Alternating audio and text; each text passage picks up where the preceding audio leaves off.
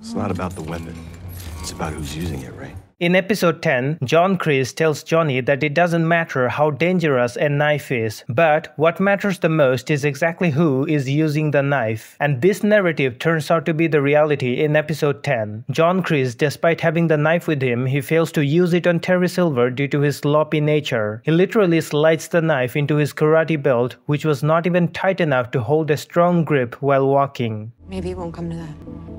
It will. During the conversation between Sam and Tori, she tells Sam that their relationship is not going to be broken due to the competition because she doesn't have to face Tori during the fight. The possibility of both of them fighting on the mat is very little, and just after that, they had to face each other by coincidence. Now that is a very cleverly put detail. I landed flat on my ass.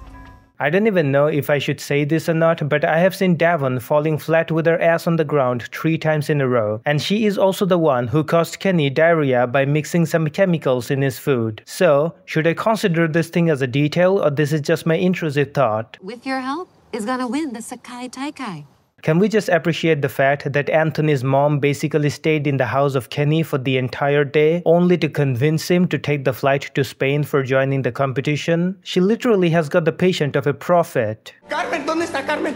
Por favor. When Miguel comes back to America, he begins to speak in Spanish to ask about his mother instead of speaking English. And that behavior of him kinda makes sense to me because he was consumed with a lot of stress and anxiety that moment. He had a fear that he might have lost his mother that day.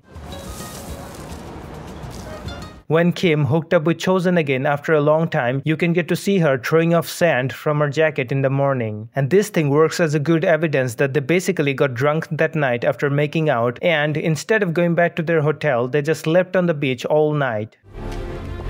Not here, not now. Katniss, no! It will not happen again. Better not. Yash! Throughout the series, there's one thing you can notice about Kim Da-eun. Whenever a character would get into a brawl or something, she would appear out of nowhere like an angel to squash the beef. And I've seen her doing that thing plenty of times. And this thing is probably not a coincidence. There is also a scene in episode 9 where she indirectly hinted on the fact that she didn't enjoy sacrificing her love, friendship, and many things of personal life to achieve success in martial arts. She even decided to hook up with Chozen again. And these events are giving off enough signals to realize that she will play a very influential positive role in the next part of season 6.